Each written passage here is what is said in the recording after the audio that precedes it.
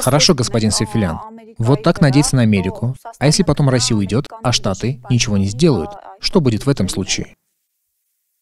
նախ հույսը չենք տնում Ամերիկայի վրա, սկսելու համար ես քանի անգամ ասացի, որ մենք մենք պիտի նախացերնենք։ Сперва мы не надеемся на Америку. Для начала я много раз сказал, что инициатива должна исходить от нас, а не от нее. Если инициатива исходит от нас, значит мы надеемся на себя.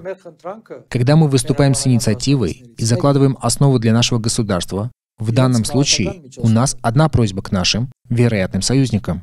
При помощи их политических средств обеспечить паузу, время, чтобы армянский народ за этот короткий промежуток времени смог набраться сил.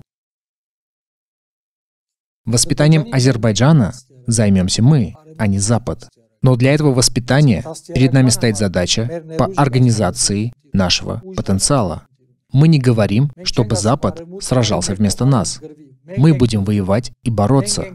Сколько бы большая часть нашего народа сегодня не боялась войны, они должны понять, пока мы не будем сражаться, мы не придем к какому-либо результату. Однако, как я сказал, наша просьба одна, чтобы Запад определенное время был в регионе в роли сдерживающей силы, чтобы мы смогли набраться сил. После этого мы покажем, кто такой Алиев и как будет решаться арцавский вопрос, со стрельбой или без. Но сначала мы должны создать эту силу. Чего вы ожидаете без создания силы? Слова ничего не стоят без кулака на земле.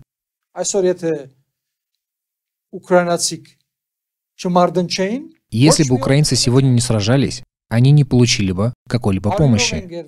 Государство создается кровью на основе жертв. Оно не падает с неба в качестве подарка. 30 лет, как мы упустили эту возможность. Сейчас мы стоим перед такой возможностью. Мы должны осознавать это. Повторяю, мы будем защищать нашу страну.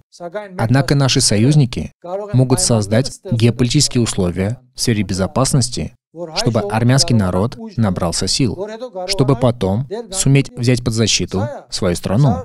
Вот, это логика. Кто говорит, что мы ничего не хотим, не хотим чьей-либо помощи? Дорогой народ, это абсурд. 40-миллионная Украина без помощи от мира не смогла бы сопротивляться. Подписывайтесь на канал Национального демократического полюса в YouTube.